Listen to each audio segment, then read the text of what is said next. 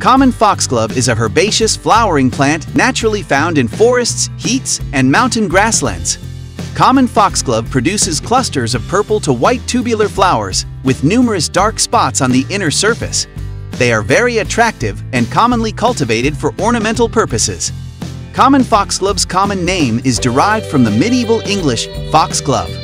It was first known by the Anglo-Saxon name Fox's glofa, which means the glove of the fox, because the plant's flowers look like fingers with gloves on. Because it is the most common species in its genus, it is therefore called common foxglove. The stunning and brightly colored tubular flowers of the common foxglove draw hummingbirds to feast on their nectar, as well as a variety of butterflies and bumblebees. In addition, caterpillars and insects that are drawn to the plant attract insect-eating birds. Common foxglove only flowers in its second year, then it goes to seed. Its small seeds also make for a tasty treat for a variety of birds. Common foxglove can be found all around the world, from the UK to South America to Canada.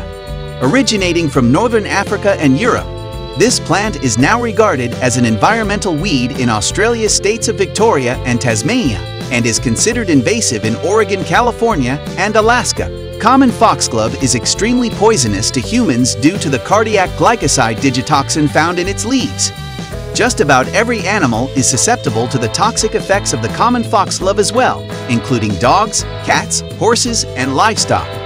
Never eat common foxglove and keep your animals away from ingesting it too.